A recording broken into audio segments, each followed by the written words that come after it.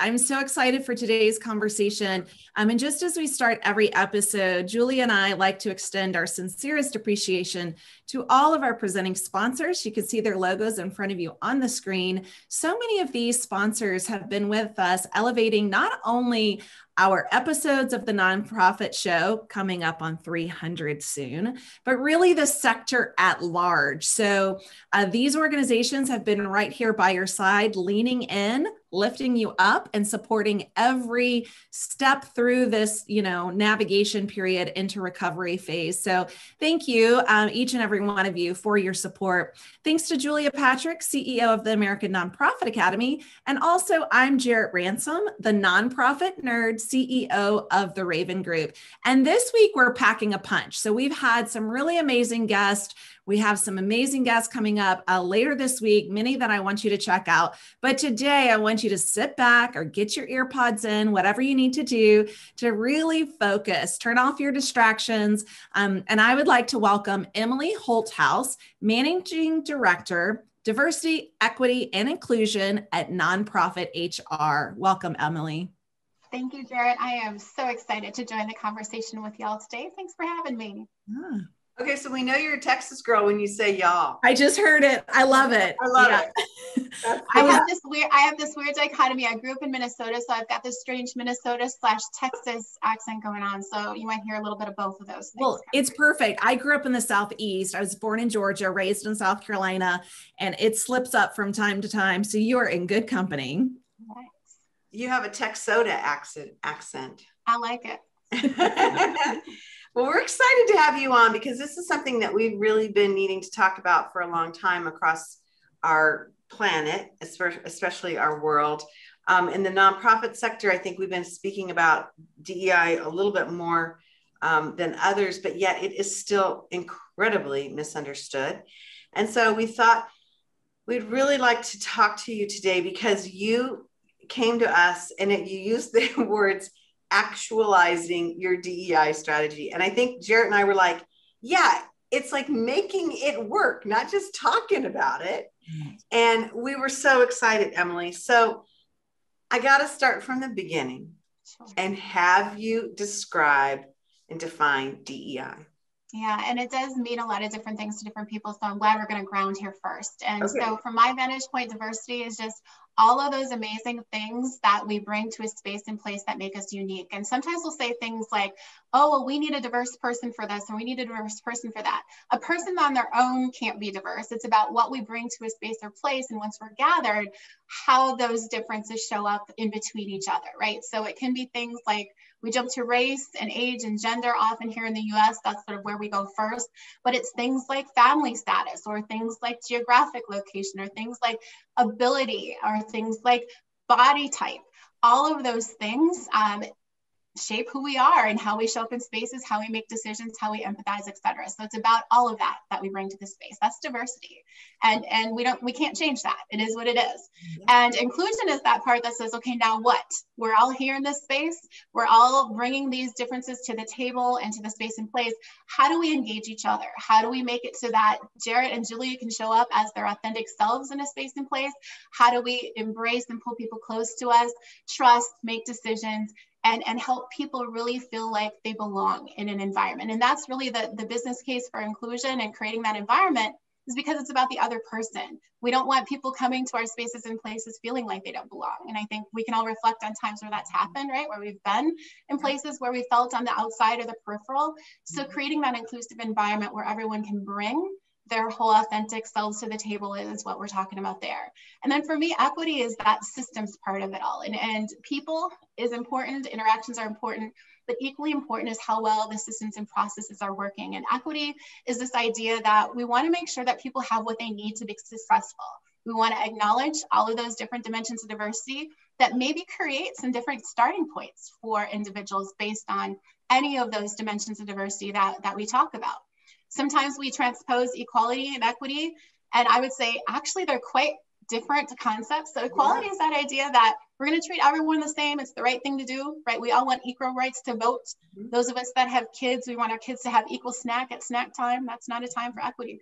But there is a time for equity when we say not everyone has the same starting point. So Jarrett, you might need something different to be successful in an environment than I might need based on different dimensions or different starting points that we have. And equity says we're going to solve for that and we're going to give everyone what they need to be successful. And it may or may not be an equal thing that we need to get there. Right. And the reason why this is important is because we all live in these systems that were often built far before we all came into them. And equity says sometimes we have to make adjustments for systems that aren't working for everyone and, and make that acknowledgement. And then at the end of the day, too, our job is once we recognize the system might not be working, we help people get what they need, but then we also reimagine or dismantle or fix or blow up said system so that it begins to work for everyone, regardless of their dimensions of diversity. So equity is sort of the foundational piece for me because it's the systems. And then diversity is how we're showing up in said system, and inclusion is how we're treating each other in said system. Thank That's you for, for grounding this because I do think for us to have common definitions is really important in our organizations, but then also, you know, that's parallel for this discussion today. Now, I've heard um, JEDI, so I've heard a lot about diversity, equity, and inclusion, but now it's like there's this new term called JEDI, which includes the J for justice. What exactly does that mean and how is that different? Yeah, it is different. And basically, JEDI says that we're going to center justice first and equity as that foundation. And then those things will drive the diversity and inclusion in organizations. And so I know that especially a lot of my uh, colleagues that are in this space where organizations that are really wanting to lean into the justice aspect of the conversation, they center that first and they make decisions, they set priorities based on justice first. And our, our firm is actually thinking about that too as a rebrand. And I was joking with somebody, it's it's important, but also how cool would it be to have JEDI Master on my, my uh, job uh, on my uh, cards or whatever, right? Or uh, absolutely signature. So, you know, that's that's cool too. But I think at the end of the day, it's really how do we recenter justice at the front of the conversation versus centering diversity at the front of the conversation? And it's just a mind shift or a different parallel for the work. Well, things are changing so quickly in society. I like that it makes it also um, the imperative is to be flexible and and to be um, at the forefront of new thought, action, and deed, as opposed to just like making these statements it's more important to say, okay, this is how and why and what. Mm-hmm.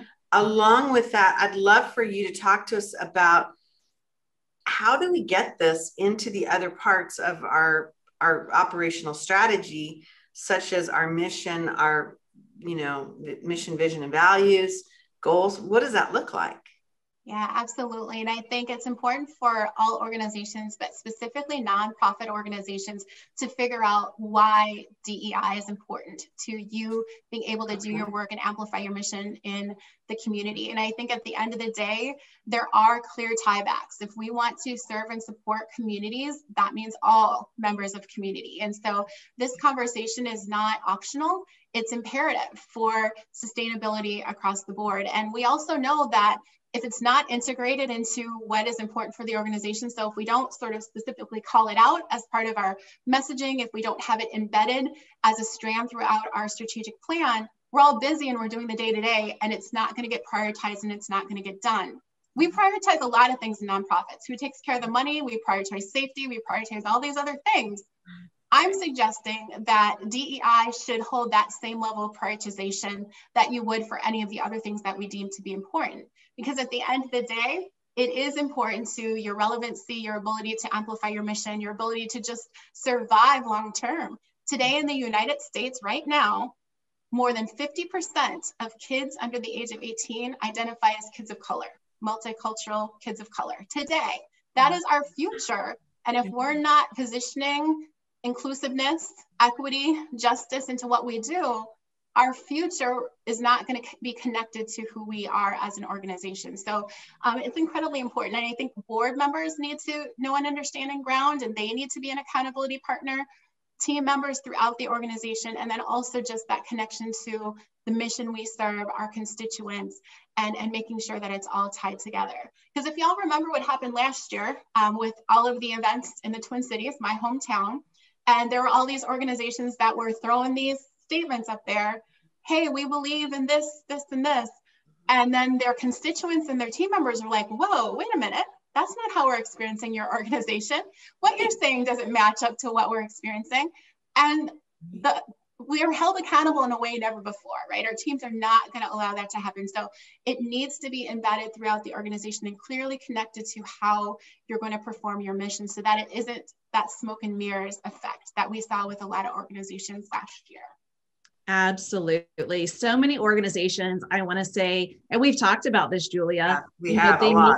Made, they made the statement and that was it or you know they posted a black square on their instagram or they posted something on social media and that was it and they didn't go beyond that um, and so to really match up the actions with the statement and to use that as to what you said sorry emily is uh, really seeing that you know what is your constituency base experiencing what is their experience beyond that statement um, I, I have a question because what I'm seeing, and I'm and I'm curious how I can be a better ally in this space. This is not my bailiwick. I am leaning in super hard um, into this conversation and learning so much.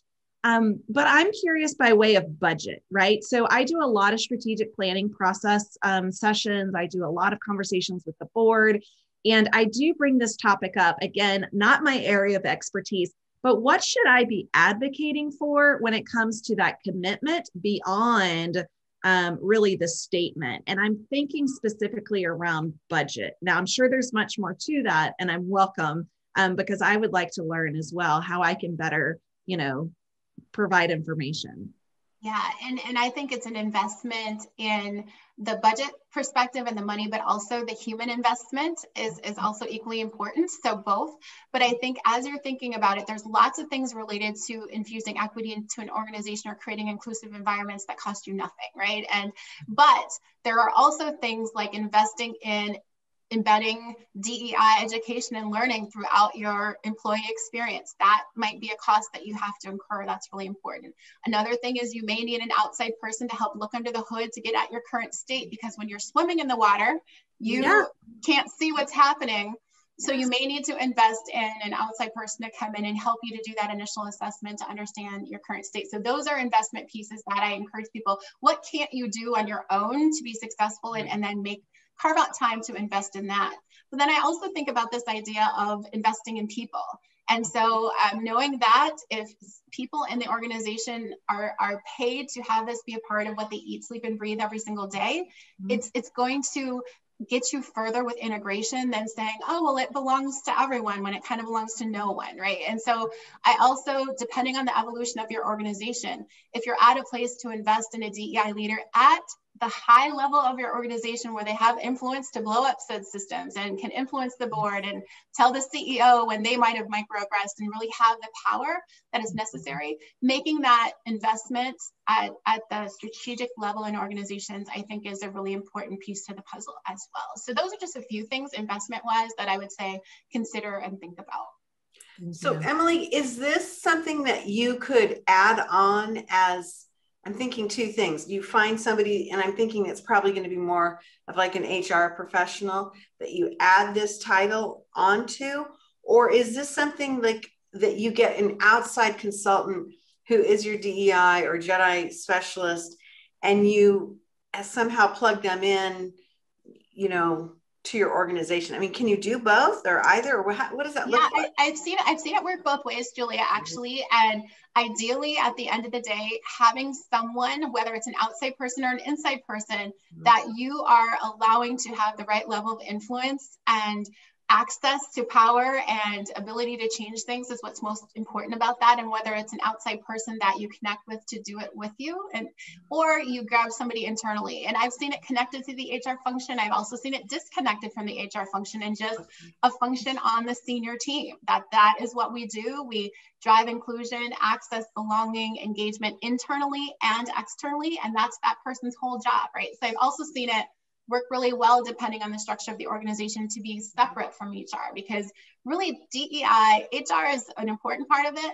You know, bias creeps into HR life cycle systems so fast, right? So that's important, but also it's really broader than that. And, and DEI needs to permeate the entire organization. So you also don't want to get it siloed that it's just an HR thing and that that team is just responsible for it too. I, I see that. And I appreciate you kind of reframing that for me because I think I have placed it just on as an HR thing.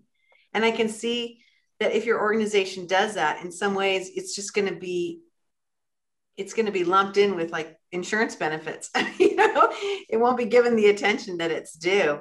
I, I was really interested in, and you mentioned this um, briefly in the Chitty Chat chat. Talk to us about assessments. And so we can figure out what we need and where we're struggling. Yeah, absolutely. And Julia, just one quick thing that you made me think of, and, and I also look at it like this, like the CEO in the organization, that stands for chief executive officer, but really that's also chief equity officer. I also see the CEO as having a big role to play too, as, as we're talking about that as well. Um, I but that. love that. Yeah, mm-hmm. every CEO, you know, that's part of what you're in charge of as the leader of the organization is is having equity be at the core of what you do. Can and, we take this further? And and I don't mean to to stop you right here, but I'm thinking oftentimes in our nonprofit sector, the CEO title is interchanged with the executive director, right? Like that is another title that I think I hear sometimes more often the CEO, but I'm assuming that's also equity director. Yes, agreed. so it, it, doesn't matter um, if you are at the head of the organization where power is concentrated. Yeah. Equity is part of your job. Inclusion mm-hmm. is part of your job. Setting the tone for all of that allocating resources, being the champion, that is part of your job. And, you know, Jarrett, you talked earlier about that idea of allyship and how do I be a stronger ally? Like, I'm going to push you. Like, I want you to be on ally because ally kind of connotates like, I'm cheering for something that's outside of me and I'm going to support you and, and I'm going to do that. But with equity and inclusion and, and things like dismantling racism organizations, we all need to be in the game together in that. And it impacts all of us, right? And we all need to be active and sort of seeing ourselves getting past, and especially if you're at the top of the organization where power is concentrated, it just needs to be about how you're active and, and equity is part of your leadership brand just who you are showing up in the organization. And whether you identify as someone from a marginalized population or not it doesn't matter because it takes all of us to win this game together and all of us need to be active in it together Thank it. you. Thank you for that challenge and, and for educating me. Um, really, really in the language, right? And the, as I had said, I am leaning into this hardcore, a lot of learned behavior from the geographic area in which I grew up, right? And so learning through that, and of course, spending so much time in the nonprofit sector and in so many vulnerable communities. Um, so thank you. That that comes gently, and I appreciate it. Well, and, and also allyship is an important stop along the way. I'm just saying that's not the end stop. Like we want to keep right. going, right? And sort of get into that level of ownership because at the end of the day, when we all feel that level of ownership, that's when it's going to start to change quicker, right? And, and for us to get in that together is, is really important. Well, let's talk about those stops, right? Like, how do we know that we've achieved success? Um, is that something that it's like, okay, we've put in, you know, a, a Jedi, I really like using that term. We've put in a Jedi policy, we've engaged in a person, consultant, what have you, like when do we know that we've achieved success? Yeah, so that's a great question. And to be honest, this is an everyday, all day on repeat activity, right? And so success really is about integration and it's about our leaders making decisions to support equity outcomes every day, all day. And so, you know, I tell my clients like this, we'll jump in with you, but there are no stickers at the end of the consulting engagement to say you've arrived. You don't get to put something in your window that say, says you made it.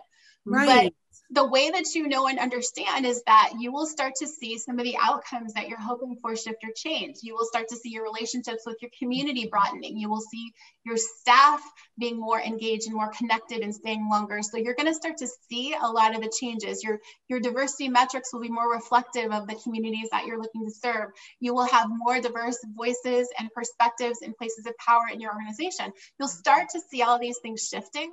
But at the end of the day, there is no arrival point to go. And and getting in that space with each other just requires all of us to be leading this way long term. And and that's why i love that y'all are talking about this idea of integration in organizations because the checkbox approach isn't going to get you there. And getting to the end of the checklist does not mean that you're finished by any means. It's just really thinking about what's next and what we need yeah. to continue to move forward. Well you know i would think when you're measuring success too it, it seems to me at this point measuring success is starting with acknowledgement. Like, okay, we are going to be on the journey of this discussion and practice. And there are a heck of a lot of people that are will not or do not see this of value. And you know, I think we've got to be able to say this is heavy lifting, but ultimately this does make us more successful. Um, and we don't know what that looks like because we've never done it before.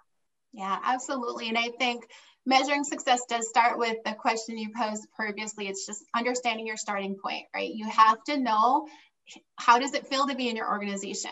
Where is power concentrated? How do we make decisions with each other? How transparent are we? So, what does the environment feel like is what you need to know and understand. And I always say to people, do you know? Do you know the answer to that question? How does it feel to be part of your organization from a staff standpoint, from a constituent standpoint? You need to get the answer to that. You also need to know and understand are there any historical things that have happened in the past that we need to acknowledge and own in order to let us go forward? I was working with a client the other day and, and they were challenged and struggled because they had a large Hispanic Latino population in their community. And they're like, Emily, we just can't get that group to engage with us. We try different things.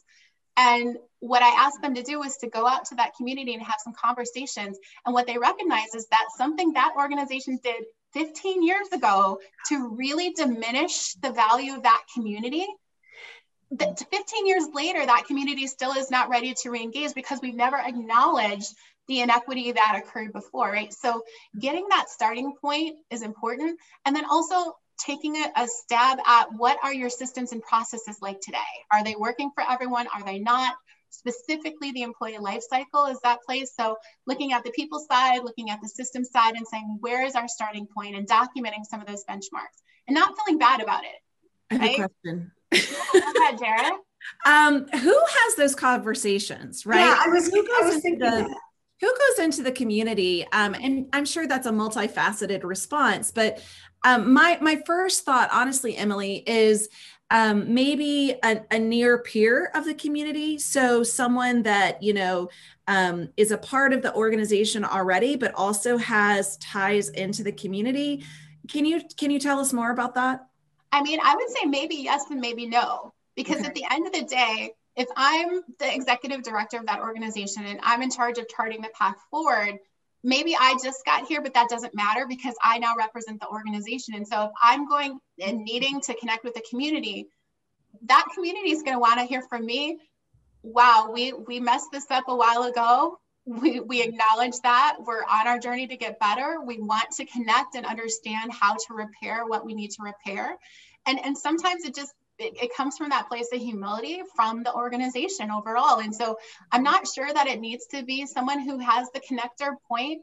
It really has to be just authentically like, listen, we're trying to do better here. We're, we're on our journey and we're here to acknowledge and understand and listen and hear so that we can learn and get better, right? And that needs to come from the top of the organization. Oftentimes I will say, the executive director, your board members, your key team members um, need to be involved in it and, and, it needs to be a commitment on behalf of the organization. So it can't just be one person that communities know really well that's out there with them because people will see that as sort of, well, they sent that person out here because they know that they can connect with us more. And so it really is about yeah. we're going to get in that uncomfortable space of saying, you know what, we're going to own it and we're committed to doing better. And then your actions need to reflect that commitment of movement. Back right? to actions. Yes.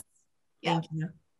You know, I think that it's almost like I, I think of when you when you speak about this, Emily, it's like the old-fashioned PR train, you know, we're going to get the leader back out into the community and introduce and chat and you know have a coffee have whatever but put put those leaders on the front line so that they can be hearing and seeing what things look like. And we don't do that enough with our leaders. We, we're, we're sending the PR folks out, or mm-hmm. we're not.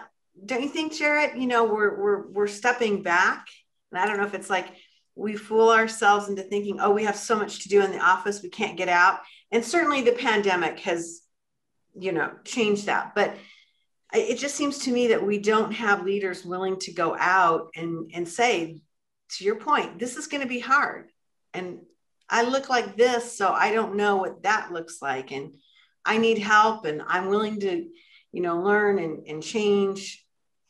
but it's I think too one of the things, and again, I I'm sharing this from a, a very place of a big place of vulnerability. Um, sometimes I don't know what to say, right? Or I'm afraid that I'm going to say the wrong thing. Um, and I think many of us that are leaning into this space and you know do this in a place for organization, um, I just want to throw that out that that might be a challenge or an obstacle that is being thought of. That's a real thing. And Jarrett, when we're talking about that idea of moving beyond allyship, that mm-hmm. is one of the biggest things that leaders need to get past is that fear of making a mistake preventing you from getting an action, right? Because yeah. at the end of the day, you're not going to say everything perfectly. You're going to make mistakes. I've been doing this work for 20 years, y'all, and I say the wrong things sometimes. It's sure. true. It happens. So you will you will get into those spaces of uncomfort. You will get into spaces where you didn't frame something properly. But the more we just start to say we're going to get out there because being in action is better than being perfect because that authenticity over perfection is what's required here. And at the end of the day, you might get misunderstood and, and said your motivations aren't right, even though you know that they are, but that doesn't mean you stop. That means you just sort of keep going. And the more you lean into that discomfort, the easier it becomes as you continue to do it, right? But Jarrett, what you're naming is real and it's valid. And we just have to say, how do we push through that? And how do we begin to sort of go to that humble place? And Julia, to your point, getting out into the communities and having those conversations is, is a scary thing to do. A, we might not know what the answer is going to be, or we might not be ready for what the answer or the conversation is. But it's also required for us to really be able to make the impact for our entire community. You know, it's just part of what we need to get into the, to the system of doing. Because if we're going to sit in our office and do things to communities versus doing things with communities and through communities, long term it's not going to serve you or your community the way that it needs to be served so. And that's why we're here. Nonprofits are here to help provide a solution to a community problem. That's right. Baseline. you don't make cookies you don't build microchips you don't build cars. You're about building community kids families adults yeah. engagement. Yeah. And, and that's, Emily, that's what it is you wow. have been amazing. I'm looking at my clock and I'm like, no, I just want you to stand still. I know. I Emily, wow, this is amazing. So we had your CEO on a couple weeks ago and we thought, wow, okay, we've died and gone to heaven. and she we were talking about women and leadership. We loved that. And then um, somebody else on your team was like, I don't know, wait till Emily's on. She's pretty amazing. so, Y'all are very sweet. Thank you. And so, you're hiring. The nonprofit HR team is hiring. I just saw that on LinkedIn the other day. So uh, check them out. They've got a great, robust page of open positions. So yeah. Here's yes, come work with us. We love we love talented, amazing people from all over the country. So I love. Thank you for throwing that out there. Please Absolutely. come work with us if you're interested. Yes. It's it's amazing. Well, this has been fabulous. You know, um, we need to have more of these discussions. And so um, we've got to get you back on because I've learned a lot. And I know that um, this is something that, to your point, it needs to be at the forefront, coming from the top down and then linking across our organization. So this is super cool.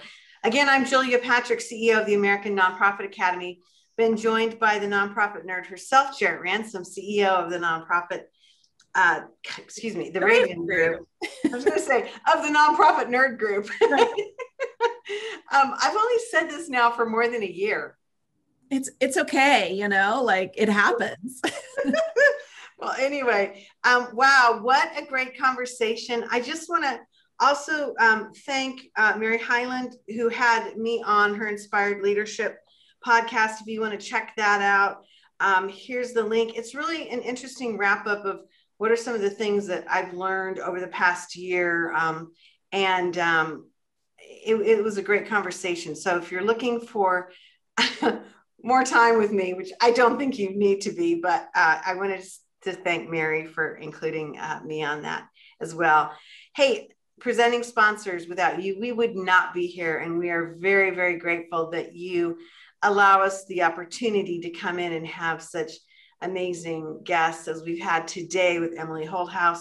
Um, so basically, thank you, thank you, thank you for opening this door that we've walked through and continue to walk through every day. And so um, we want to make sure that that you support them as they support us. Another amazing way for me to start my day What say ye, Ms. Jarrett? Phenomenal. Emily, I, and I said this to uh, your CEO, and I was just like, you know, I want to pick a, a, handful of people to go on a retreat with, mm-hmm. and you're definitely on that list. So thank you for joining us today. Do it. Let's do let's it, Let's do it. All right. thank you so much for joining us today. Welcome you back anytime. I know we have some of your other colleagues from the nonprofit HR joining us, and I look forward to our conversations and discussions with them as well. So um, thanks to all of you joining us for another amazing episode of the Nonprofit Show. Hope you'll join us tomorrow. And until then, stay well so you can do well. Thanks, everyone.